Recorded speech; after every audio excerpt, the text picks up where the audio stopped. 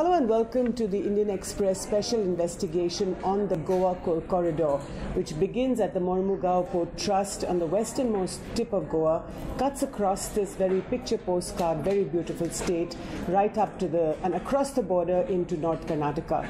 Now, I have with me Smita Nair, uh, the Indian Express correspondent in Goa, who has been following this story. And today I will ask her about this toxic train, which carries Smita 65,000 tons on a daily basis from the port across 352 kilometers into Karnataka. But what is this train? Um, what time does it begin in the morning, for example? Uh, what, what time does it leave the trust? There, there are no timings. It- Okay. it- basically, you go by an average number that the port gives you. That is, for ensuring good efficiency at this stage, they have nine nine rakes leaving every day. Now, it can be morning, it can be evening, but there's this uh, one stretch which is the most difficult stretch, which Yes. is the Western Ghats. Uh-huh. So they try to kind of pan it out in such a way that they can have engines available for them, so that they can push the rakes up and uh, it, on a good day they have also pushed 10 trains. And there are days when they've pushed 8 trains. But there's Every no, day? every day. But there's no schedule to it as such. So the 65,000 tons is uh, the, It's- of, to, it's- of coal that they're carrying is across those eight or nine trains on a daily Yeah, basis, yeah, or is and- it per train? yeah and it's 34,000 I'm so sorry, yeah, it's 34,000 tons. odd uh, yeah. Yeah so it's over a period of over a period of a day and it's pushed like pushed through 8 to 9 9 trains yeah. Right. And now, so this train that leaves the port um, in the morning and presumably and drives across the state, 350 odd kilometers, what does it leave in its wake? Your story talks about this very toxic train. So the the problem that Goans face today, uh, you know, is about how these trains are covered by a blue tarpaulin, which is, uh, in in their own words, is very medieval because they have, and, and it's very interesting because Goans have researched themselves. They are not relying on anyone. So when when we went to the public hearing, they came with papers and papers of what other countries do. So there are like these pipelines which carry the slurry, or which there, there are places where chemicals are used. So it's very interesting. So they are saying that if you are if you are trying to take a scale so huge, then ensure that you at least cover it so that you know they don't get disturbed. So what happens? The, the tarpaulin that's, that covers the, the trains or the, the cargo the is not very tightly. No, I mean the um, visuals show up? it. So we tracked. I think we counted 11 trains that we tracked over a period of a week. So uh, at some places um, the the breeze is so strong, and also the trains at some points are um, you know running at a very good speed. So the, the, they flap out like you know the the threads. The can- tarpaulin yeah, they flap out, and uh, breaks. that makes it easy for the coal to escape. And the coal dust is not like iron ore dust, Mm-hmm. right? Iron ore has a higher density. So coal dust actually flies much farther and faster as Mm-hmm. compared to. So, so then they, they seem to have problems with that. And you talked about health problems. I read about a family in your story today. Uh, the, the, the mother says that she needs to carry a nebulizer for her son all the time. And when she asks her doctor for a prescription, he refuses to give that. That was a common narrative actually in most of the villages. Um, there are places. Uh, there was this village uh, where the father actually went to his childhood friend, who's a doctor, Okay. and he still refused to give him a. But why are they so afraid? Um, they, I, I have I have personally not understood why, but I, I believe there are a lot of corporates, um, you know, um, involved here. There's a government involved here, so I, I I cannot put a finger to it. So tell us the three corporates that um, run these, that, that basically own the coal, which is then carried on these trains from the port to North Karnataka. So there are three importers. I mean, uh, we would put it that way. The importers are Vedanta and uh, uh, JSW and uh, um, Adani.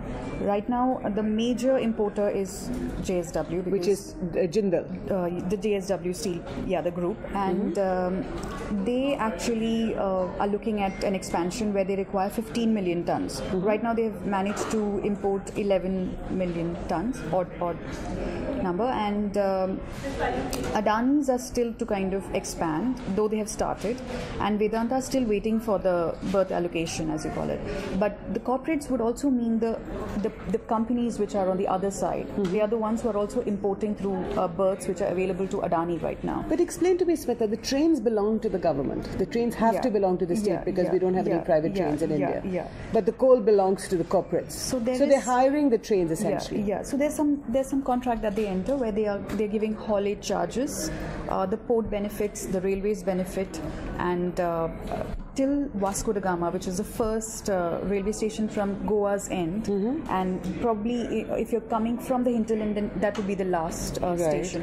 So till there, it is a passenger cargo uh, mix of trains. But from Vasco to Mormugao, it is just the cargo uh, the cargo path. When you say passenger cargo, meaning there are people also traveling There are there are passenger trains. No, there are passenger trains which Okay. are there. So uh, and they, they're called the local trains, as you know it. Yeah. So um, and also some of the trains go to Mm-hmm. Other states. Okay. Mm-hmm. Yeah. So it, it's a mix, I, I would say. But from Vasco to the port, it's only the cargo rigs that travel. Right. And the people of Goa do not want this they don't mind the uh, the the development benefits that would come with say for example the import of coal or, or any other commodity. But they want these corporates to take much more stringent action to so that they can protect their health. And responsibility.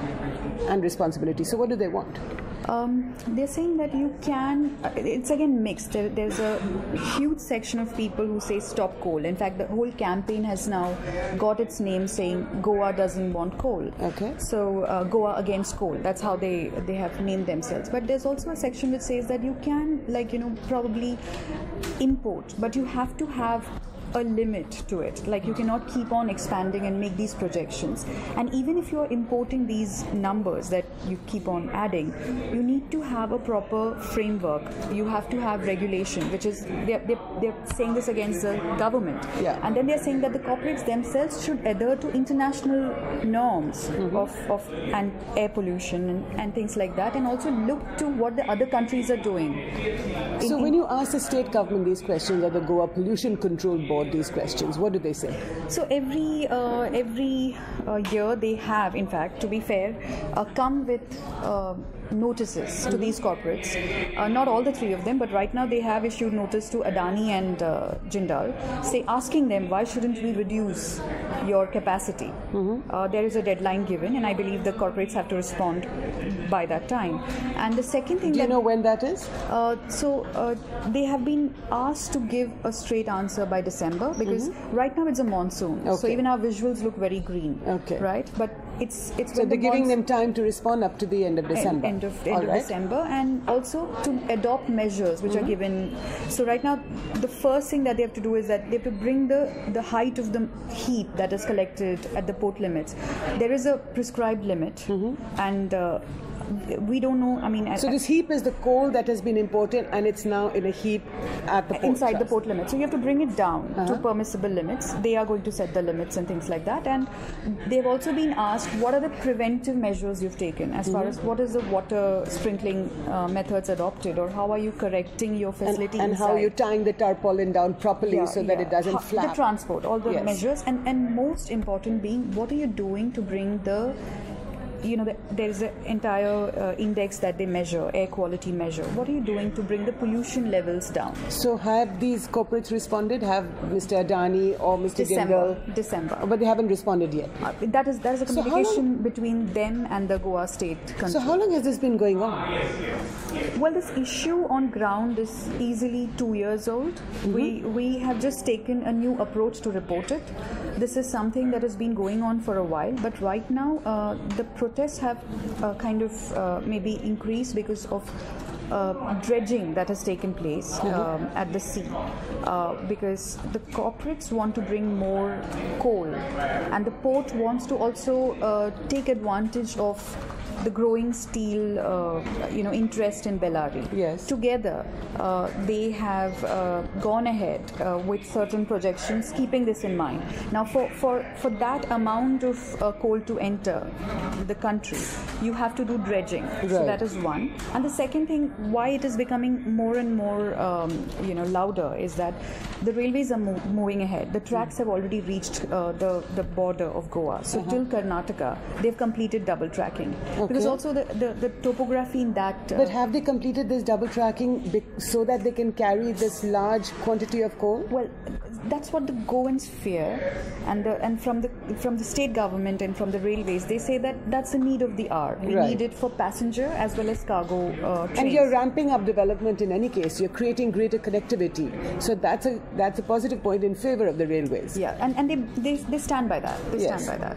So because of the dredging, because they need larger quantities, so you're saying that public protests have So also become much yeah, louder. So it, it's it's double tracking, dredging, and the fact that now notices have started going to uh, homes that you know uh, road widening is also going to take place. So it's like it, So everything are is the people then uh, are they coming together? Are they forming some sort of a coalition where they can jointly protest to the government that this is how it's affecting our health? It's actually very interesting because um, uh, there's a social media group which is uh, which is very active. So what was stark is that when uh, in Australia the announcements were made about uh, the the Adani. Uh, uh, project.